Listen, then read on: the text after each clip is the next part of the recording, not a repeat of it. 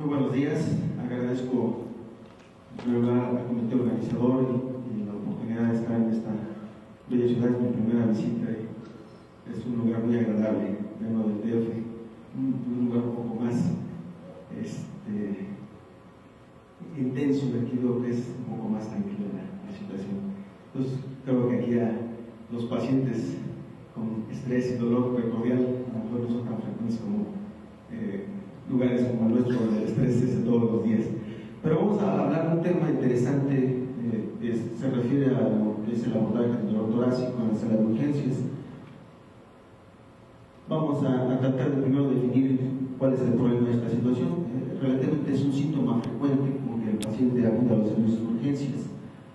Alrededor del, del, del 10 al 20% de esos eh, gruesos de pacientes que acuden al servicio de urgencias por dolor torácico llegan a tener lo que es eh, un infarto agudo miocardio con elevación del ST, que es lo que vamos a ver más adelante. Ahí bueno, ya está bien establecido cuál sería el manejo del paciente, si está en un lugar donde se puede hacer angioplastia o se puede hacer algún tratamiento. Sin embargo, vamos a ver, hay un grupo de pacientes donde hay que decidir qué hacer con ese paciente.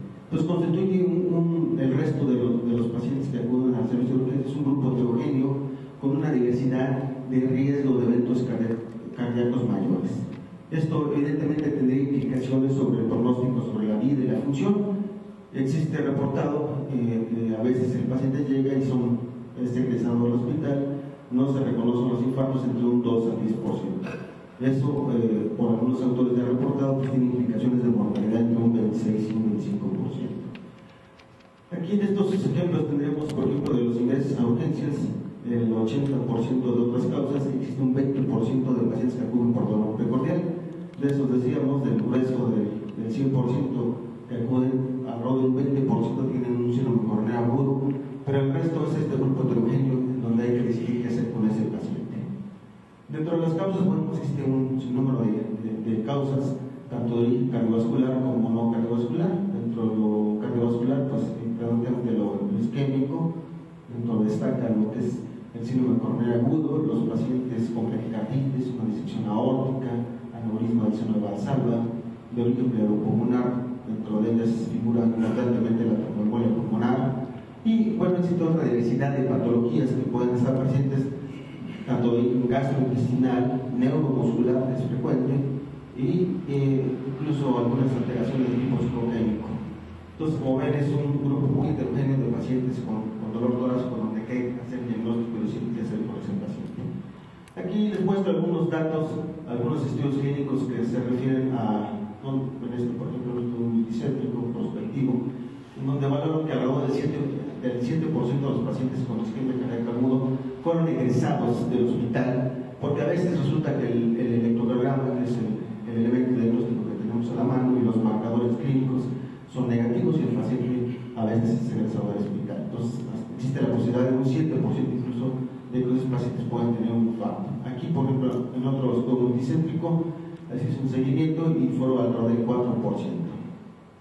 En este otro, por ejemplo, en el siguiente 609 pacientes con electrocardiograma, electrocardiograma normal o no diagnóstico, e incluso un marcador que puede ser un marcador que sea de, de, un detector independiente de riesgo de eventos cardíacos, este grupo de pacientes incluso con un electro normal y troponina negativa, también existe la posibilidad, por ejemplo, 25 pacientes en el seguimiento tuvieron un infarto a un miocardio, el 4.1%, que equivale al 4.1%, 9 pacientes tuvieron, fallecieron y 29 pacientes, que es el 4.8%, presentaron eventos cardíacos mayores. Entonces, aún estos pacientes que llegan con electro, con marcador, con células de troponina negativa, pues tienen la posibilidad de desarrollar evento cardíaco.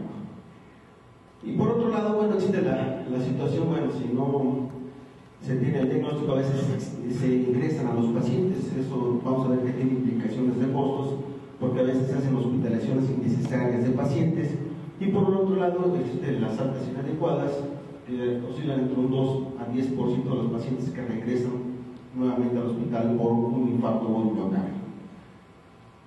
Aquí tengo una, un análisis, por ejemplo, del de CONAMED, que fue de junio del 96 a diciembre del 2004, donde, bueno, aquí son las, las cosas más frecuentes por las cuales los, pacientes eh, le van, tienen algún inconveniente en relación y, destaca en segundo térmico, después de, del primero, error diagnóstico. Aquí fue alrededor del 13.8%, son de las quejas que tiene la Conamento. Y de esta gráfica que se hizo de desviaciones identificadas, cuando se hicieron la, revisaron los expedientes de los pacientes en, esta, en este periodo de junio del 2006 a diciembre del 2004, se encontró, por ejemplo, error en la interpretación de algunos estudios como sería el electrocardiograma.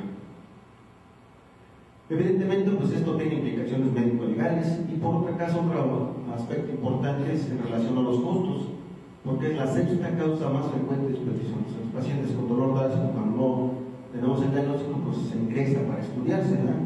Y eso pues son, constituye costos para los, los hospitales. Y por otro lado, ya dijimos que tiene implicaciones sobre el pronóstico, sobre la vida y la función. Aquí nada más esta gráfica, por ejemplo, para demostrar, vamos a ver, se han hecho algunas estrategias para decidir qué hacer con ese paciente, si se puede ingresar de acuerdo a la implicación del riesgo o no. Pero por ejemplo aquí los costos, entre comparando una estrategia que llamamos convencional y otra decidida a través de medicina nuclear, pues cuando se hace esto, el, por, convencional, fíjense los costos en este fueron de 3.747 comparado con 1.254. Entonces eso también tiene implicaciones de costos en cuanto a los sistemas de salud. Métodos diagnósticos. Bueno, eh, el punto importante que siempre debe estar presente pues, es la clínica. La clínica y la situación física del paciente. Hay algunos datos del dolor que nos nos dicen que ese paciente es el por eso entonces importantemente hay algunos criterios positivos para hacer el diagnóstico como un dolor personal opresivo, como la, la, la, intensidad del dolor, hacia dónde se irradia el dolor. El, eh, el, a veces el paciente ya tuvo un cuadro previo de angina, si identifica que ese dolor es muy parecido al que ya tuvo previamente, la duración del dolor, si aparece en reposo o con actividad mínima, y si se acompaña o no de síntomas de bronquitis. Son indicadores clínicos que nos hacen alertar, pensar que ese paciente sí podría alterar. A diferencia de otros datos del dolor, como si es un dolor localizado en la pared torácica lateral, un dolor que se reproduce en la palpación, eh, eh, se presenta en el dorso, etc., un dolor pulsante que nos indica pues, que ese dolor pudiera no ser de origen, sobre todo cardiovascular. Es importante, como ustedes vieron ayer, pues, identificar todos los factores de riesgo que tenga ese paciente. De los marcadores, pues existen los, los clásicos, que es los niveles de, CPK-MB, que a veces hay que hacerlo en forma seria, si el paciente puede llegar a tener una, primera determinación normal. Y bueno, con esta implementación de las unidades de dolor torácico, se pretende que el paciente por lo menos esté 6 a 10 horas y se haga por lo menos algunas dos o tres determinaciones para, para determinar que son negativas.